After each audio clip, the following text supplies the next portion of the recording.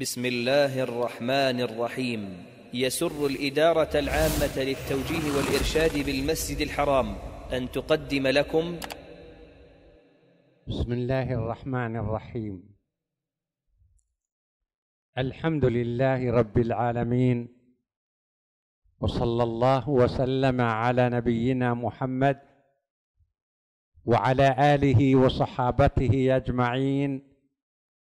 ومن سار على سبيله واتبع هديه إلى يوم الدين. ونستفتح بالذي هو خير. ونسأل الله أن يوفقنا جميعا للقول الصائب والعمل الصالح وأن يبارك لنا في الأقوال والأعمال وأن يجعلنا جميعا ممن يستمعون القول فيتبعون أحسنه. أيها الإخوة الأكارم ما زالت قراءتنا في ذكر بعض الأحكام المتعلقة بالوصية والوصية من الأمور التي يبقى اثرها ونفعها وأجرها بعد الموت لأنها التبرع بعد الموت. وقلنا بأن هناك فرق بين الوقف والوصية. وقلنا بأن الوقف عقد لازم بمجرد أن يقول الإنسان هذا وقف فإنه لا يبيعه ولا يهبه ولا يورث عنه وإنما يكون في المصلحة التي وقف التي وقف لها. بينما بينما الوصي بينما الوصية يمكن فهي عقد جائز يمكن أن يقول هذا للفقراء للفقراء. وبعد يوم أو يومين أقول لا للأقارب. وبعد شهر أو شهرين أقول للأيتام. وبعد فترة أقول للمرضى لأن الوصية لا تلزم إلا ولا تثبت إلا بعد الموت. فهي التبرع يتبرع الإنسان بعد موته. والصحابة رضوان الله عليهم بادروا إلى الوصايا وبادروا إلى الأوقاف. ويقول جابر رضي الله جابر بن عبد الله رضي الله عنه ما من أحد من صحابة رسول الله صلى الله عليه وسلم كانت له جدة يعني مقدرة إلا ترك وقفا. وعمر رضي الله عنه أصاب أرضا بخيبر وهي من أنفس الأراضي ومن أكثرها فائدة ومزية فاستشار رسول الله صلى الله عليه وسلم فيما يعمل بها.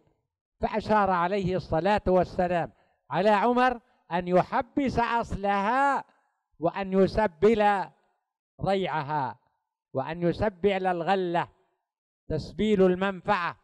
وأما الأصل فهو محبس لا يباع ولا يوهب ولا يورث. والوصية رضي الله والوصية من الأهمية بمكان. فهذا سعد حينما مرض عام الفتح وجاءه النبي صلى الله عليه وسلم يعوده قال يا رسول الله إني يعني في هذا المرض أشرفت على الهلاك ولي بنية ما عنده إلا بنت واحدة وأنا عندي مال كثير. أفأتصدق بمالي؟ قال عليه الصلاة والسلام لا. قال بالثلثين؟ قال عليه الصلاة والسلام لا. قال بالشطر يعني بالنصف؟ قال عليه الصلاة والسلام لا. قال بالثلث؟ قال سعد رضي الله قال رسول الله صلى الله عليه وسلم الثلث والثلث كثير. ثم علل ذلك إنك إن تدع ورثتك أغنياء خير من أن تدعهم عالة يتكففون الناس يعني يمدون أكفهم لكن إذا كان عند الإنسان مال كثير فالأولى أن يكون له وصية. وأبو بكر رضي الله عنه أوصى بالخمس قال رضيت بما رضيه المولى لنفسه. فأوصى بالخمس. فإذا كان عند الإنسان مال وأوصى بعد وفاته بجزء منه الربع أو الخمس أو السدس أو الثلث أو ما أشبه ذلك السدس و, و أو أو يعني مثلا السدس أو السبع وهكذا ينفع الله به. ونجد كثيرا الآن من المؤسسات التعليمية ودور الخير أتت, أتت نفعها وعم خيرها ولها آلاف السنين وذلك بسبب الوقف لأنها وقف وإن مر بها عام أو سنة أو سنتين أو ثلاث واعتراها ما اعتراها فإنها تعود إلى أصلها وينفع الله بها. فكثير من المؤسسات التعليمية في البلاد العالم الإسلامي ريعها أو يعني تكاليفها ومصاريفها من الوقف الذي يدر عليها خيرا كثيرا. فنقول أيها الأحباب الوقف عقد لازم. فإذا قال الإنسان هذا وقف وجب أن يعتبر وقفا وليس من حقه أن يبيعه أو يهبه أو يتصدق أو يعطيه فلان أو فلان وقف على ما ذكر. وأما الوصية فأنا اليوم أوصي لجهة من الجهات. وبعد شهر لجهة أخرى لا مانع. وبعد شهر لجهة ثالثة وهكذا. فلا يثبت إلا بعد الموت. الوصية أيها الأحباب لا تكون بأكثر من الثلث لأن النبي صلى الله عليه وسلم أجاز لسعد أن يتصدق بالثلث وقال الثلث والثلث كثير. أما ما زاد على الثلث فلا نقول لا يصح ولا نقول يصح وإنما نقول يحتاج إلى إجازة الورثة. نسأل الأم ونسأل الأب ونسأل الزوجة ونسأل الأولاد فإن وافقوا فنعم وإن اعترضوا فاعتراضهم له اعتبار ونقبل الاعتراض. لا وصية بأكثر من الثلث. فلو أن إنسانا يعني أوصى ببناء مسجد ولاحظنا أن بناء المسجد يكلف 250 ألف. مات الرجل. بعد أن حصرنا ماله وجدناه 600 ألف. نقول المئتين ما نستأذن فيها أحد. وأما الخمسين الزائدة عن الثلث فنسأل الزوجة والأم والأولاد بنين وبنات وجميع الورثة فإن وافقوا فنعم وإلا فلا. ثانيا لو أن إنسانا عنده أولاد وأوصى لبعضهم نقول قال عليه الصلاة والسلام لا وصية لوارث لأن الولد له ميراث أو عم أو جدة فالورثة لا يحتاجون إلى شيء لأن لهم ميراث يكفيهم. الزوجة تأخذ الربع أو الثمن والأم تأخذ الثلث أو السدس أو ثلث الباقي. والابن والبنت لهم نصيبهم. والأقارب اللي هم الورثة كل واحد محدد نصيبه. فلذلك ورد حديث لا وصية لوارث. ونقول أيها الأحباب إذا ميز الإنسان أحد الورثة لكونه من ذوي الاحتياجات الخاصة لكونه من يعني به علة أو به مرض أو دخله قليل وعنده أسرة كبيرة فميزه أبوه أو بنت مثلا وعندها أيتام وهي أو مطلقة وأحتاجت إلى السكن وأوصى والدها لها بسكن فلمراعاة هذا الأمر نستأذن الورثة. فإن أجازوا فنعم وإلا فلا. يعني نستأذن الورثة فيما زاد على الثلث ونستأذن الورثة بالوصية لأحد الورثة فإن أجازوا فنعم وإلا فلا. وقرأنا آخر درس أيها الأحباب ما يتعلق بالرجوع. أنا الآن أوصيت بيت في العزيزية. وقلت أريده وصية وأريد يكون في أعمال البر وبناء المساجد وتشجيع طلبة العلم وطباعة الكتب وتحفيظ القرآن وكذا وكذا. بعدين بدالي ألغي الوصية وأثبت غيرها. لا حرج في ذلك. ثاني بدأ لي أن أوصي بأن أجعل بستانا في الشرايع أو في حدة أو في بحرة ثم عدلت. لا مانع من ذلك. فيمكن للإنسان أن أن يعدل أو يبدل. لكن إذا مات ثبتت الوصية. تثبت الوصية بالموت. لكن إذا رجع عنها سواء أراد أن يزيد أو ينقص أو يغير فهذا من حقه. فمر بنا الرجوع عن الوصية. إذا قال مثلا هذا وصية ثم رجع نقبل. لكن إذا قال هذا وقف ثم رجع لا. الوقف عقد لازم. لو قال هالبيت وقف. بعد يومين أو شهر أو سنتين قال لا لا. اللي يريد يشتري البيت فنرغب في بيعه. نقول لا هذا وقف ولا يباع. فإذا كان وصية وأراد أن يعدل وأراد أن يزيد وأراد أن ينقص وأراد أن يبدل المكان على الرحب والسعة إلى أن ينتقل إلى الدار الآخرة. وإذا كان وقف فبمجرد يقول وقف ينتهي الأمر. ويصبح الأمر بيد الحاكم الشرعي في الإجراءات التي يمكن اتخاذها.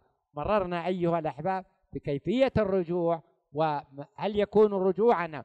قالوا لو غرس لو لو لو أوصى بأرض ثم غرسها فهل يكون رجوع؟ نقول نعم إذا غرس فالغرس هذا يحتاج سنوات. إذا أوصى بأرض ثم زرعها زراعة نقول لا ليس رجوع لأن الزراعة موسم ستة أشهر سبعة أشهر ثم تنتقل إلى حالتها وهو موضوعنا الآن. نعم. بسم الله الرحمن الرحيم. فصل. وإن وصى بأرض ثم زرعها. وصى بأرض. قال أنا عندي أرض في حدة. أريد أجعلها وصية. أنا عندي أرض في الشرايع أريد أجعلها وصية. ثم زرعها. هل يكون ذلك عدولا؟ لا. غرسها زرعها؟ لا. لأن الزراعة ستة أشهر ثمانية أشهر. أو زرعها مثلا أشياء ورقية ما تحتاج إلا إلى وقت وجيز. لكن لو أنه غرسها يعني غرس نخل. النخل إلى أن يرث الله الأرض. فهذا يعني يحتمل كذا ويحتمل كذا على ما سيأتي تفصيله. نعم. لم يكن رجوعا. يعني إذا زرعها زرعها بر زرعها بشعير زرعها بأوراق مثلا آه، أشياء ورقية فنقول أو زرعها في مثلا زت أو علف أو كذا نقول هذا ما هو برجوع. لكن إذا غرسها معناه أنه الرجال ناوي أن المدة طويلة. نعم. لأنه لا يراد للبقاء. و... الزراعة لا تراد للبقاء. يعني موسم فقط. يضع البذر بعد شهرين ثلاث يحصده يضع البذر بعد ثلاثة أشهر يحصده لكن إذا غرس إذا غرس نخلة النخلة يمكن خمس سنين ست سنين ما طلعت. فمعناه قد يكون رجوع هذا. نعم. وقد يحصد قبل الموت. فإن غرسها أو بناها ففيه وجهان. إذا غرس غراس أو بناء. أقام عليها بناية. نقول له وش قصدك؟ نفهم. أنت الآن الأرض هذه وصيت فيها. لكن بنيت عمارة مكونة من أربع أدوار خمس أدوار. قال إني وصيت في الأرض ورأيت أن أوجد فيها بناء للفقراء. أوجد فيها سكن خيري. أوجد فيها كذا. نقول زين. بارك الله فيك. فإنه هذا العمل يراد للبقاء. لكن لو قال لا أنا الآن أوصيت لكن أردت أقيم بناية وأريد الشقق أجرها شقق. أجعلها مثلا دخل لي ثابت. نقول هذا يعتبر رجوعا وعدولا عن ما نواه. نعم. أحدهما يكون رجوعا. يعني في قولين المسألة. وقلنا صاحبنا صاحب المغني رحمه الله يذكر قولين لأنه لطلبة العلم الذين قطعوا مرحلة في السير في طلب العلم فيمكن يعني أن يرى من تعرض عليه المسألة أنه يرجوع فيحكم بأنه رجوع أو أنه غير رجوع فغالبا الكتاب اللي كتاب الكافي لطلبة العلم وطالب العلم يميز بين الأقوال ويعمل ما به براءة الذمة. نعم. لأنه جعلها لمنفعة مؤبدة. والثاني لا يكون رجوعا لأنه استيفاء منفعة أشبه الزراعة. وإن أوصى له بسك بسكنى داره سنة ثم أجرها فمات قبل انقضاء الإجارة ففيه وجهان. أحدهما فلان سنة. بعد شهرين ثلاثة مات. ففيه وجهان. ما دامت مؤجرة هل يسكن؟ أو يكون له الأجرة أو أنه بعد ما تتم الأجرة نقول تعال اسكن. فطالب العلم يميز بين هذه يعني الأقوال ويعمل ما به براءة الذمة. نعم. أحدهما يسكن سنة بعد انقضاء مدة الإجارة. لأنه موصل له بسنة. والثاني تبطل, الوصية بقدر ما بقي من مدة الإجارة وتبقي الباقي. نعم. عندنا الآن باب لأنه مثلا في الأصل قال كتاب والكتاب هو الذي يجمع عددا من الفصول والأبواب في موضوع واحد. قلنا ليسهل على طالب العلم أن استذكار وفهم المسائل وربط القواعد. من هو الشخص الذي يمكن نوصي له؟ من هو الشخص الذي نجعله مسؤولا عن رعاية الوصية والقيام بها و يعني مثلا إصلاحها وإدارتها وإعطاء كل ذي حق حقه؟ إذا كان إنسان إنسان مثلا غير مؤهل إذا كان فاسق فالفاسق لا يمكن. إذا كان مثلا غير يعني في غير حالته المعتبرة شرعا. فالمجنون يحتاج إلى أن يكون عنده من يقوم بشؤونه. وكذلك الإنسان إذا بلغ من العمر ما بلغ وأصبح فاقدا للأهلية يحتاج إلى قيم عليه. لكن نحتاج إلى رجل أو امرأة. يعني حتى المرأة ممكن أن تكون مؤهلة لرعاية الوصية والحفاظ عليها وعمر رضي الله عنه اختار عنده عدد من الأولاد لكن اختار بنته حفصة وجعلها هي المسؤولة عن الوصية. حفصة بنت عمر الله زوج المصطفى عليه الصلاة والسلام. نعم.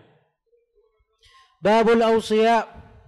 لا تصح الوصية إلا إلى عاقل. لا تصح الوصية إلا إلى عاقل. غير العاقل المجنون. يمكن نقول في عندنا مزرعة في الشرايع أو مزرعة في حدة أو عندنا ورشة في شارع الحج أو عندنا برج في العزيزية. وصية والوصي فلان وهو مجنون. يمكن لا ما, ما المجنون ما يدبر نفسه علشان يدبر الآخرين. لابد أن يكون الموصى له عاقل و ويكون أيضا لديه من المعرفة والإدراك والتعقل ما يمكن أن يستثمر هذه الوصية ويعمل على إعطاء كل ذي حق حقه. نعم. فلا تصح الوصية إليهما لأنهما ليس المجنون هو فاقد العقل. والطفل طفل عمره سنة سنتين ثلاث أربع خمس ست سبع إلى آخر. ما بلغ ما ما يدبر الشر. فمعناه يقول الطفل المجنون والطفل لا تصح الوصية إليهما. لأنهما غير مؤهلين لرعايتها والقيام بها. نعم. لأنهما ليس من أهل التصرف في مالهما. للإنسان أيها الأحباب يعني لأجل دوام الوصية ولأجل الحصول على الخير منها ولأجل الاستزادة من النفع يقول ولل ولل وللذي يقوم بها اللي هو الموصى له وهو يعني الذي يرعاها الذي يرعاها ويديرها ويقوم بشؤونها يجعل له نسبة عشرة بالمئة يجعل له نسبة خمسة بالمئة يجعل له نسبة ثلاثة بالمئة وهكذا. كنا في المحكمة يعني فيما يتعلق بالأوقاف. يأتون ويطلبون تحديد نظار. نسأل عن العمارة التي يطلب أن نحدد لها ناظرة. فإن قالوا هي جديدة يعني الآن بنيت حديثا وكل شيء فيها على الوجه الأكمل. المصاعد الكهرباء الماء الأبواب السيراميك البويك. نجعل لهم أربعة بالمية ثلاثة بالمئة كذا. لكن عمارة قديمة ومنذ منذ سنوات وهي تستثمر. فهذه تحتاج يوم إنه يجيب له سباك يصلح المواصيل ويوم تحتاج يصلح مبلط يصلح البلاط. ويوم آخر تحتاج إلى الكهرباء. ويوم رابع الأسانسير خربان. ويوم خامس الأبواب الأقفال كسرت فيه تبي نجعل لهم مثل هؤلاء عشرة بالمية. عشرة بالمئة من ريع الوقف. وذلك لكثرة العمل لديهم بخلاف ما إذا كانت العمارة جديدة فالعمل يكون قليلا. نعم. فلا يجوز توليتهما على غيرهما. ولا هم؟ فلا يجوز. يعني الطفل والمجنون ما يجوز نوليهم على غيرهم وإنما نولي غيرهم عليهم. نعم. ولا تصح الوصية إلى فاسق لأنه غير مأذون. فاسق. يعني إنسان ما يلتزم بشرع الله. يأتي ببعض المنكرات يأتي ببعض الأمور التي لا يقرها الشرع. يتساهل في موضوع الصلاة يتساهل في بعض الأمور التي يعني تؤثر على مروءته. فمثل هذا لا. لكن لو أن إنسانا لو أن إنسانا وصى قال الوصي بعدي فلان. ثم أنا بوجه سؤال الآن. شيخ عبد الله. شيخ عبد الله. أبوجه سؤال. إنسان أنا الآن قاضي في المحكمة على سبيل المثال. وجاني من واحد وكاتب قال وص... عندي بيت الفلاني. مثلا وصية جعله أوصى به والوصي فلان. لاحظنا فلان هذا إنه ما هو على مستوى. كيف العمل؟ نعزله؟ ولا وش الطريقة؟ هو الآن وجوده نقول لا تبرأوا به الذمة. وجوده لا تبرأ به الذمة. فإما أننا نعزله وقد حصل على التعيين من صاحب الوصية وإما أن نقره وهو غير مؤهل. فما هو الحل؟ نعم.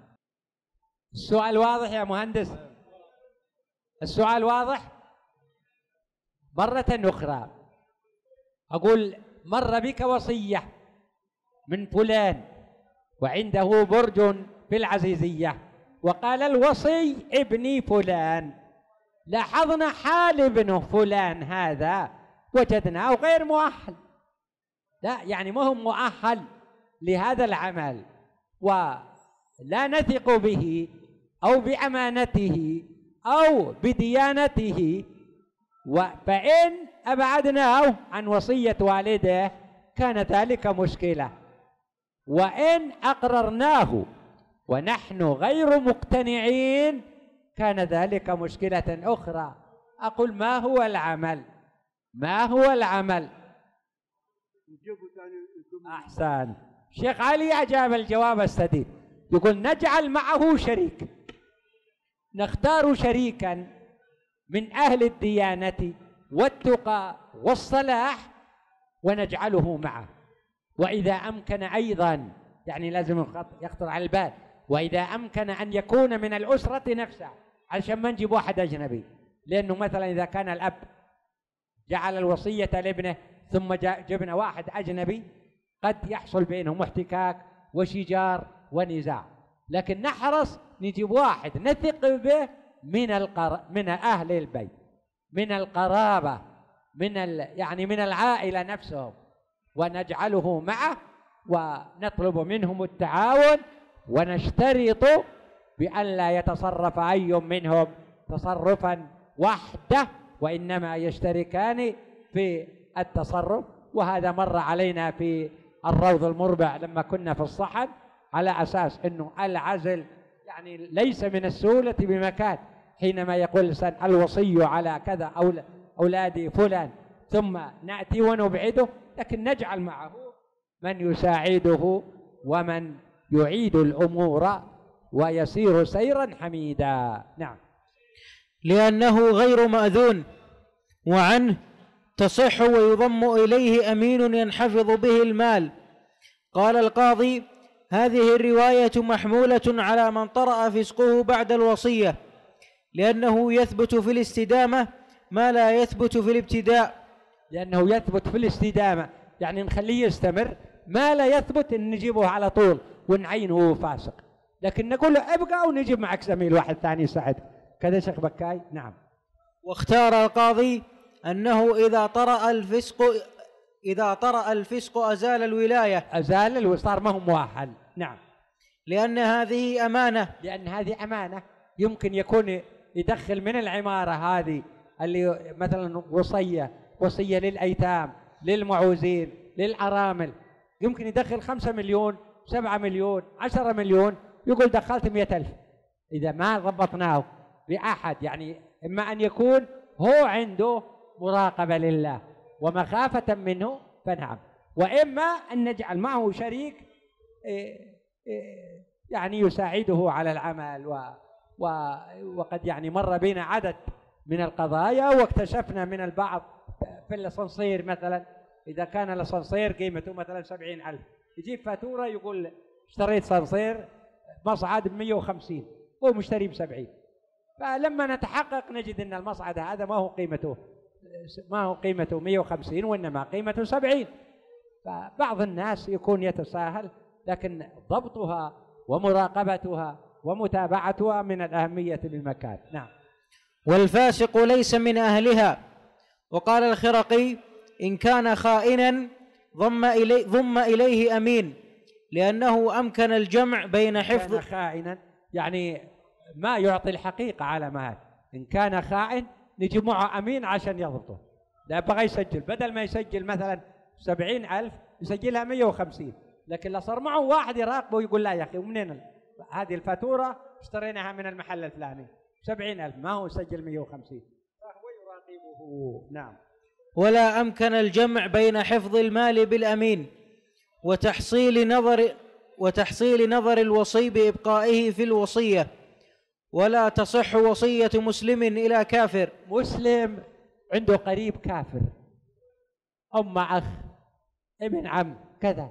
نقول ما تصح الوصية إن مسلم يوصي إلى كافر. وإنما لا يوصي المسلم إلا إلى مسلم. لا يوصي المسلم إلا إلى مسلم. نعم. لأنه ليس من أهل الولاية على مسلم وفي وصية الكافر إلى الكافر وجهان. يعني بعض العلماء يجي يقول كافر أوصى لأخيه وهو كافر أيضا. أوصى لأخيه أو لابن عمه وهو كافر. فقال بعضهم ما داموا من جنس واحد نعم. أحدهما يجوز. أحدهما يجوز والثاني قال لا ما يصح أن نولي إلا من كان يخاف الله ويتقيه وهذا خاص بالمسلم. لأنه يجوز أن يكون وليا له فجاز أن يكون وصيا له كالمسلم. والثاني لا يجوز لأنه أسوأ حالا من الفاسق وتصح وصيته إلى مسلم. لأن الفاسق يعني يشهد أن لا إله إلا الله وأن محمد رسول الله لكن الكافر أسوأ حالا. فإذا قلنا ما يجوز الكاف الفاسق فالكافر من باب أولى. نعم. لأن المسلم مقبول الشهادة عليه وعلى غيره. فصل. وتصح وصية الرجل إلى المرأة. الرجل يعني قربت وفاته وجد أحسن من يتر من يقوم بشؤون الأولاد هو زوجته. فجعل زوجته فجعل ابنته فجعل أخته فجعل أمه كل ذلك جائز. ما الدليل على هذا؟ عمر رضي الله عنه اختار ابنته حفصة. اختار ابنته حفصة. وكثير من السلف جعلوا الوصية لبناتهم. لأن عمر أوصى إلى حفصة ولأنها من أهل الشهادة. حفصة بنت عمر وهي شقيقة عبد الله. عبد الله بن عمر. وقلنا حفصة وعبد الله أخوالهم آل مضعون. آل مضعون. وآل مضعون من البيوتات العريقة في مكة. مساكنهم عند الصفا. وكلهم رحلوا للمدينة. وأول من مات أول من مات بالمدينة من المهاجرين هو خال عبد الله بن عمر وخال حفصة هو عثمان بن مضعون. وقد شيعه النبي عليه الصلاة والسلام ووضع على قبر علامة وضع قطعة خشب قال لأجل أن أعرف قبر أخي. نعم. فأشبهت الرجل و... تشبه الرجل. إذا كانت دينة إذا كانت عالمة وإذا صعب عليها شيء وكلت فيه. نعم. وإلى الأعمى لأنه من أهل الأعمى كذلك ما في ما يعني ما في مانع أن يكون الوصي أعمى وكثير من ال... من من فقدوا البصر أنار الله لهم البصيرة وأصبحوا قادة للأمة في العلم والمعرفة وبعد النظر فلا مانع أن يكون الوصي أعمى. نعم. لأنه من أهل الشهادة والتصرفات فأشبه البصير. وإلى الضعيف لذلك إلا أنه يضم إليه أمين يعينه. الضعيف إذا وجدنا إنسان ضعيف وهو متدين نقره لكن نضم له واحد يساعده ويعاونه ويقوم معه. نعم. وتصح وصية الرجل إلى أم ولده نص يعني عليه. إنسان عنده أم ولد وأم الولد قلنا هي الجارية التي يواقعها سيدها فتحمل بما فيه إنسان. فإنسان عنده أم ولد ولها أولاد من هذا الرجل. الرجل يعني علم بمقرب بقرب أجله فجعل الوصية لأم الأولاد وهي أم ولد. هي لم تعتق بعد وإنما تعتق إذا مات. إذا مات أصبحت حرة. أم الولد هي الجارية التي يواقعها سيدها فتحمل بما فيه خلق إنسان. وحكمها هي لا ترث وحكمها أيضا بأن ابنها يكون حر كإخوته ويمكن للرجل أن يجعلها هي الوصية. نعم. لأنها حرة عند نفوذ الوصية. لأنها عند الوصية ما تنفذ إلا إذا مات. وإذا مات تكون المرأة صارت حرة. نعم. وقال ابن حامد تصح الوصية إلى العبد. إلى العبد والرقيق. وإنما نقول ليستأذن من سيده. والآن الحمد لله ما عندنا أرقة. والرقيق يعني عرفناه بأنه عجز حكمي. عجز حكمي يقوم بالإنسان سببه الكفر. فيصح أن يوصي الإنسان يقول العبد فلان هو المسؤول عن أولادي أو وصيتي أو كذا. نعم. سواء كان له أو لغيره لأنه يصح توكيله فأشبه الحر والمك والمكاتب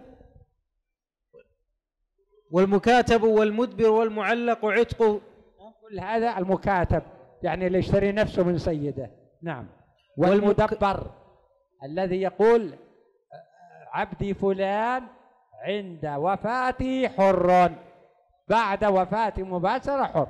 وقلنا الآن ما في عندنا عبيد علشان نقول مدبر ولا مكاتب ولا رقيق ما عندنا. نعم. والمعلق عتقه بصفة. إذا جاء رمضان فترى فلان حر. الآن الحمد لله حر قبل رمضان. نعم. كالقن لأن لأنهم عبيد. نعم. وفي الوصية إلى الصبي العاقل وجهان. يعني الصبي ما بلغ حتى الآن لكنه يعرف. وذكي وعنده مثلا معرفة وعنده دراية وعنده فطنة فيمكن أن يوصى ويكون هناك من يراقبه. نعم. أحدهما تصح لأنه يصح توكيله فأشبه الرجل والثاني لا يصح لأنه ليس من أهل الشهادة. لأنه صغير توه نعم. فلا يكون وليا كالفاسق. فلا يكون وصيا كالفاسق لعلنا أيها الأحباب نكتفي بهذا على أن نكمل هذه المسائل في درسنا في يوم الثلاثاء.